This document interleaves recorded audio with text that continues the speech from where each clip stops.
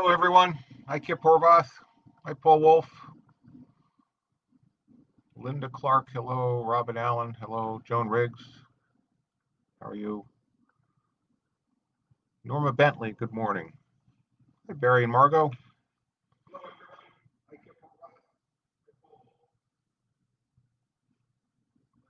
Oh, everybody's jumping in here. Nancy Horvath. Judy Martin. Good morning. Hi, Sandy Sauerbeck. Hi, Corey Lockridge. Hi, Linda Wolf. T. Crutz. Don. Don Jones. Good morning. Hi, Patty Johnson.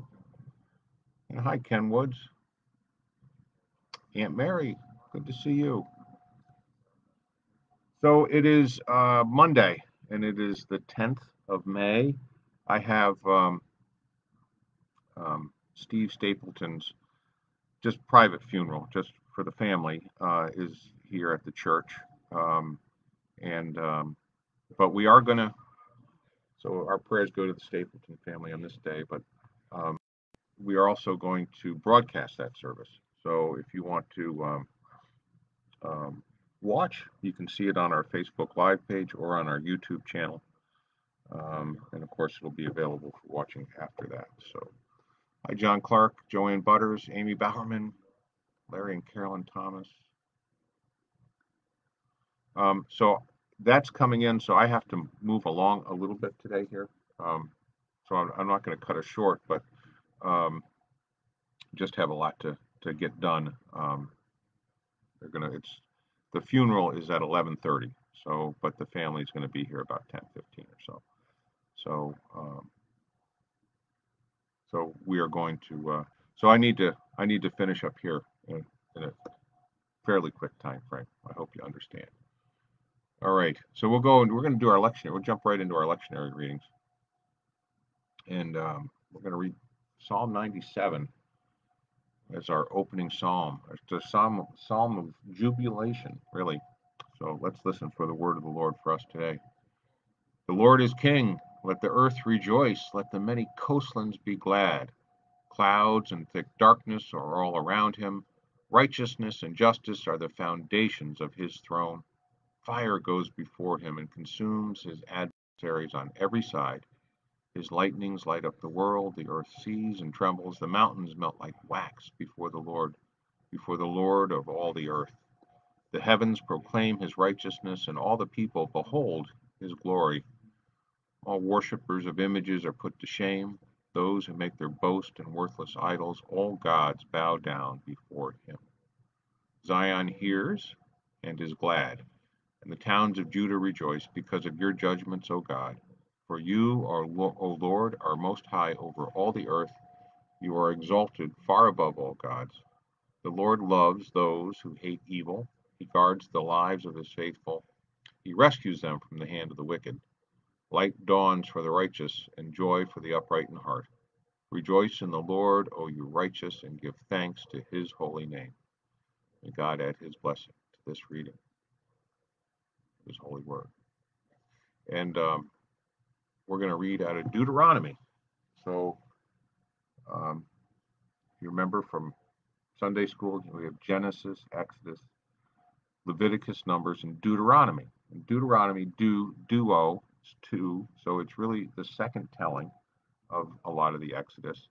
Um, it's set up so that it happens. Um, it's um, Moses telling the people uh, after 40 years of wandering uh, what's the most important before they go across the River Jordan. Now, Moses himself doesn't make that trip, right?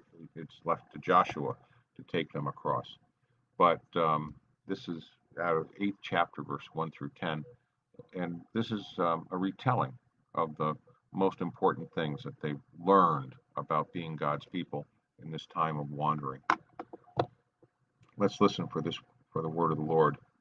This entire commandment that I command you today, you must diligently observe, so that you may live and increase and go in and occupy the land that the Lord promised on, on oath to your ancestors. Remember the long way that the Lord your God has led you these 40 years in the wilderness, in order to humble you, testing you to know what is in your heart, whether or not you would keep his commandments. He humbled you by letting you hunger than by feeding you with manna, with which neither you nor your ancestors were acquainted, in order to make you understand that one does not live by bread alone, but by every word that comes from the mouth of the Lord. The clothes on your back did not wear out, and your feet did not swell these forty years. Know then in your heart that as a parent disciplines a child, so the Lord your God disciplines you. Therefore, keep the commandments of the Lord your God by walking in his ways and by fearing him. For the Lord your God is bringing you into a good land, a land with flowing streams, with springs and underground waters welling up in the valleys and hills, a land where wheat and barley, of vines and fig trees and pomegranates, a land of olive trees and honey a land where you may eat bread without scarcity, where you will lack nothing, a land whose stones are iron, and from whose hills you may mine copper. You shall eat your fill, and bless the Lord your God for the good land that he has given you. So ends this reading of the word of the Lord. This is the covenant. This is the living out of the covenant that um, was given to Abraham uh, so long, a long time before Moses, the time of Moses that um, that the people of God in Israel would have um, land and they would have progeny, children. So, and also we hear in here that um, during the temptations that we read about in Matthew, um, you know, uh, the, devil in one of his temptations of Christ says, "Hey, look, you know, I'll, I'll make these stones, you know, into bread. Uh, you can feed the world." And he says, and he responds by quoting right out of this Deuteronomy. Man does not live by bread alone, but instead on from every word from God. Okay, uh, we'll move into our New Testament. We're in the book of James. James, and it's the very first part, James chapter 1, verses 1 through 15. Interesting thing about James is that um, one of the uh, one of the chief cornerstones of the Protestant um, faith is Martin Luther, back in like 1510, and uh, of course he had he was a Catholic priest himself, but he objected to uh, many of the practices that had developed within the Catholic Church. So he was trying to reform it. That's where we get the Reformation. And um, so, um, of course, the Lutheran Church is a strong follower of the theology of Luther. Um, the Presbyterian Church uh, kind of follows somebody that goes a little bit after him, not much, maybe like five or six years after him, maybe 10 at the most. Um, and that was John Calvin. He was in Geneva, which was a city state. So both of them were successful because they had protection. They had protection of the princes in their area. And uh, so uh, there was other people that tried to reform before that, but um, they were they were extinguished because the emperor and the church were hand in hand at that point. So it was only when they got rebel princes that uh, were willing to protect them that, that these things came forward. So anyway, but the reason why I'm telling you this is that Martin Luther absolutely hated the book of James. He called it the epistle, which means letter, the epistle of straw, meaning that it was nothing. And and the reason for that is because as you read through this, it, there it gives the appearance that um, that that your salvation, right, is earned through what you do. So it's called works salvation. It's not really there, right? But it had been in the time of Luther, um, it had been corrupted, uh, so that that's what was taught about it. And Martin Luther was saying, look, uh, your salvation is simply an act of grace from God. You can't do anything to earn it. So that's why he disliked this this, uh, this book of James. But we'll let's listen to it for ourselves. James chapter 1 verse 1 through 15. So we're going to get the introduction to the letter. James, a servant of God and of the Lord Jesus Christ, to the 12 tribes in the dispersion. Greetings. My brothers and sisters, whenever you face trials of any kind, consider it nothing but joy, because you know that the testing of your faith produces endurance. Um, and let endurance have its full effect, so that you may be mature and complete, lacking in nothing. If any of you is lacking in wisdom, ask God, who gives all to all generously and ungrudgingly, and it will be given you. But ask in faith, never doubting, for the one who doubts is like a wave of a sea driven and tossed by the wind. For the doubter, being double minded and unstable in every way, must not expect to receive anything from the Lord. Let the believer who is lowly boast in being raised up, and the rich in being brought low, because the rich will disappear like a flower in the field. For the sun rises with its scorching heat and withers the field, its flowers fall, and its beauty perishes. In the same, it is the same way with the rich. In the midst of a busy life, they will wither away. Blessed is anyone who endures temptation such a one has stood the test and will receive the crown of life that the Lord has promised to those who love him. No one, when tempted, should say, I am being tempted by God. For God cannot be tempted by evil, and he himself tempts no one. But one is tempted by one's own desire, being lured and enticed by it. Then, when that desire has conceived, it gives birth to sin, and that sin, when it is fully grown, gives birth to death. So ends this reading of the word of the Lord.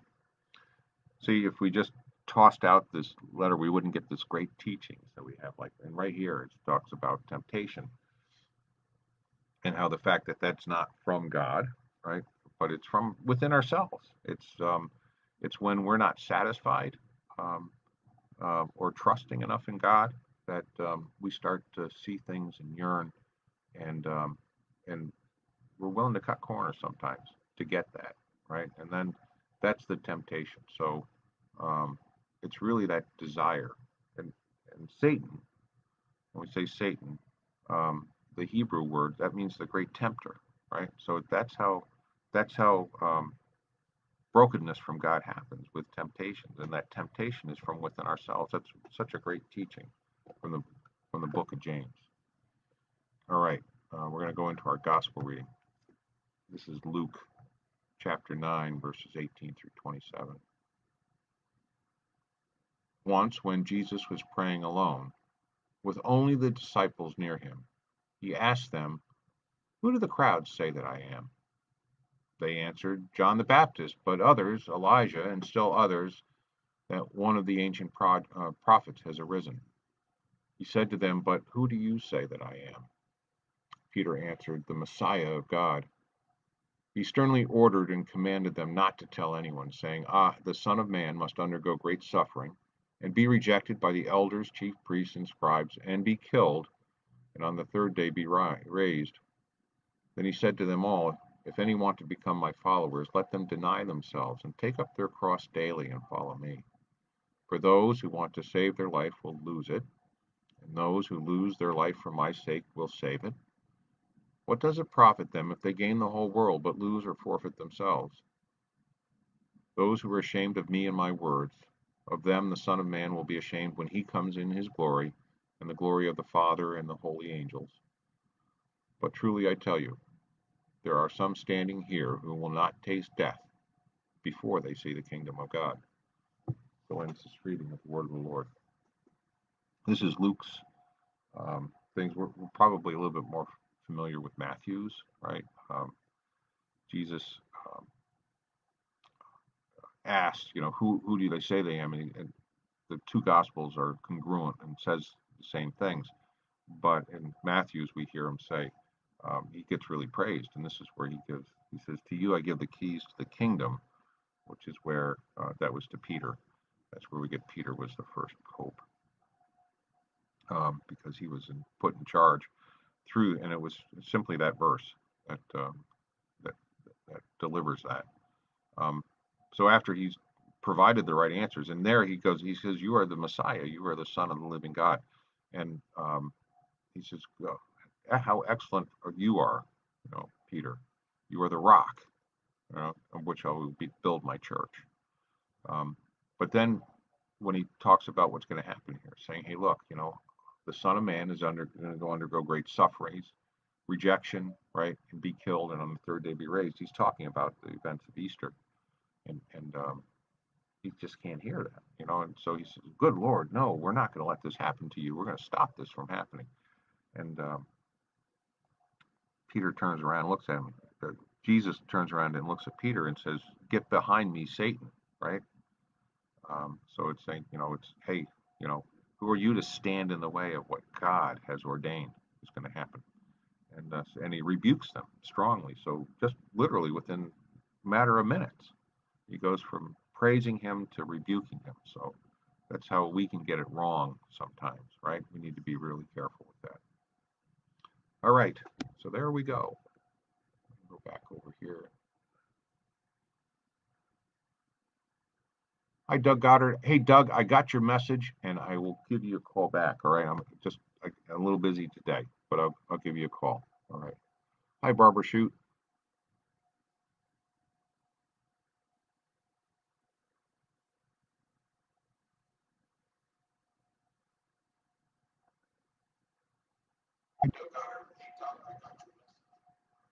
Well, Victoria Miller, we will certainly pray for you.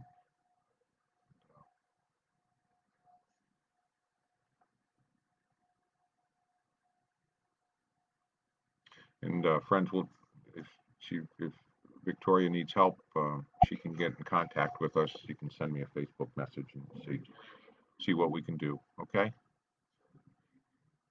All right. Hello, Ellen. All right, so it's 9:15, so we're going to pray right now. Pray for Victoria too. All right. Lord, uh, we gather here today. We've heard your word, and uh, we thank you for allowing us to open our morning together. Lord, for the fact that uh, this will be available throughout the day for others to uh, take a pause during their day to be refreshed or to give thanks at the end of their day. We thank you for this uh, this group of people. So, um, Lord, um, we need to pray for the Stapleton family. Give them strength and hope, right, in the resurrection on this day as uh, they gather to uh, say goodbye to their beloved husband and father, grandfather, brother, uncle. And then, Lord, uh, we've heard that uh, Victoria is in uh, some problems, and Lord, we would pray that uh, you would lead people to her that she can be helped. And certainly, ChristNet uh, can be of, a, of assistance in this time. So, Lord, um, there's a lot of things that give us great concern, but we also need to be thankful for the things that we do have in front of us. So, Lord, we ask for your blessings. We ask for your peace. We just ask that um, that we not that we not yearn for things that are outside of what we really need, but that we know that uh, we're beloved by you, that you will satisfy all the things that we truly need. And we pray all of this in the name of the Father, Son, and Holy Spirit. Amen. Amen, friends. So good to be with you. And we got a lot of people with us today. So I was able to do this in 16 minutes. We're usually a little bit longer than that. And I apologize, but I do have I do have to get uh, moving on some stuff for the for the funeral that'll be here in just so remember if you'd like to watch it will be on facebook live and will also be on our youtube channel and the funeral itself will um, this the feed will begin uh, slightly before 11:30. All right. God bless you all. We'll see you. Love you all.